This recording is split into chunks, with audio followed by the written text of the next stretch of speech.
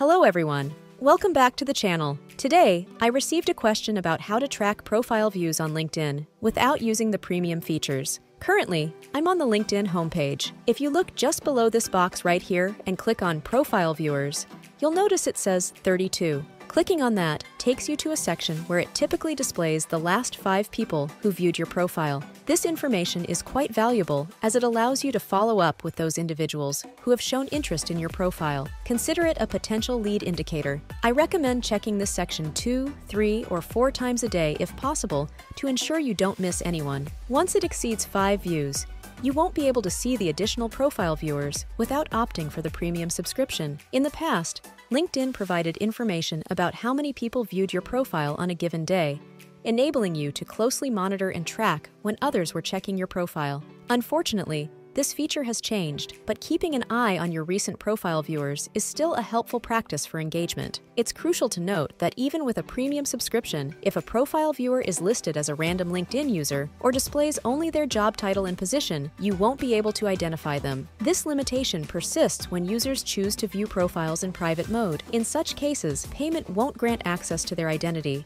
Another key aspect is ensuring that your own profile settings are configured to allow visibility. To enable reciprocal viewing, navigate to Settings and Privacy, and under Visibility, specifically in the Profile Viewing Options section, select your name and headline. This ensures that you can see who viewed your profile, and in turn, they can see that you viewed theirs. Thanks for tuning in today, and I appreciate your attention. If you found the information helpful, consider giving the video a thumbs up. Have a fantastic day.